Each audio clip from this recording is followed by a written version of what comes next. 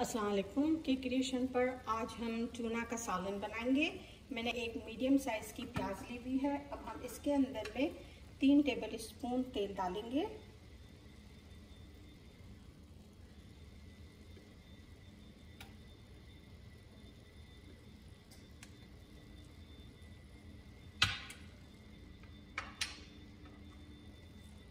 उसको थोड़ी देर के लिए ढक देंगे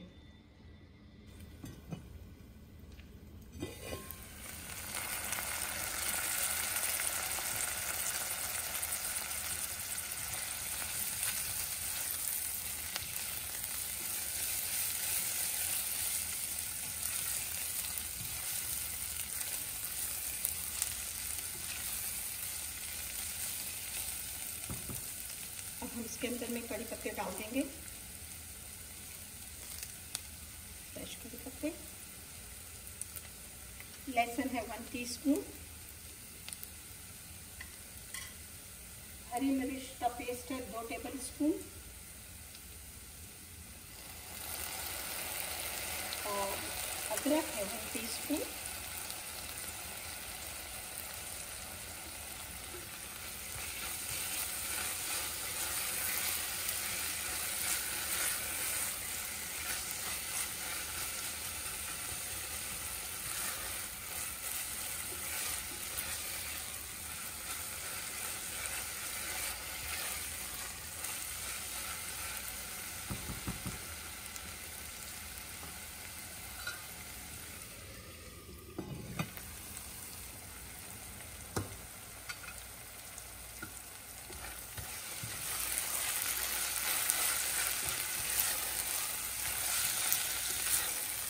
हम इसी में भी एक दरमियानी साइज़ का टमाटर डाल देंगे। आप उसे बारीक काट लें।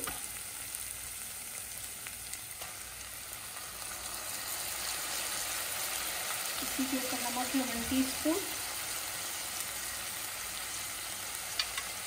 और हल्दी भी वन टी स्पून है।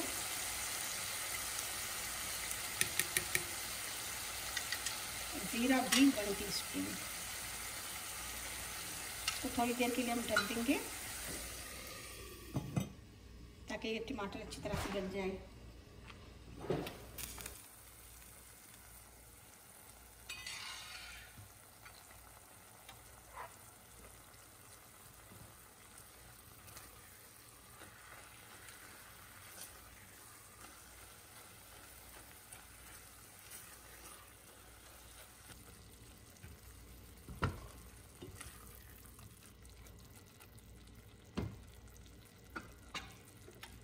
अब हम इसमें टूना फ़िश डाल देंगे। तकरीबन 10 आउंस के करीब लिए मैंने पानी वाली।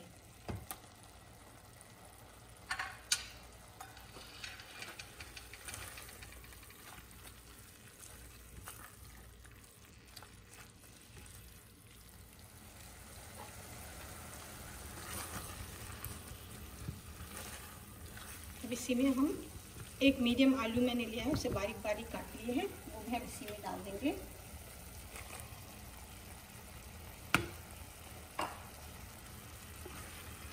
उसको अच्छी तरह से भून लेंगे।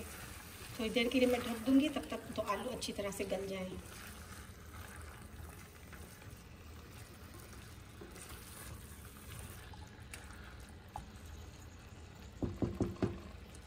बहुत ही जल्दी और आसानी के साथ ये बन जाता है।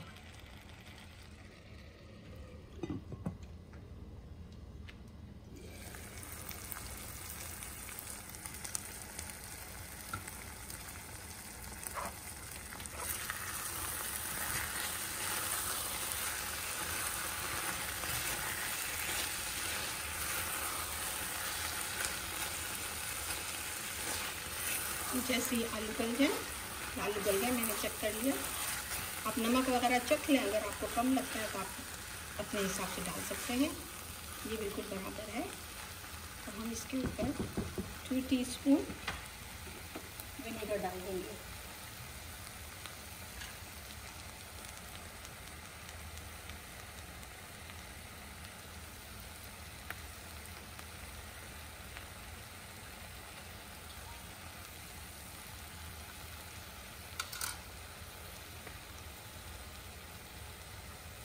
और हरा धनिया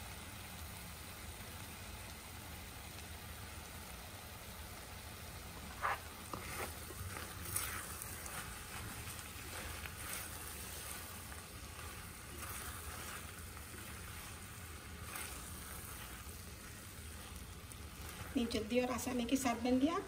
रोटी के साथ भी खा सकते हैं, सैंडविच भी बना सकते हैं और चावल के साथ भी खा सकते हैं। शुक्रिया।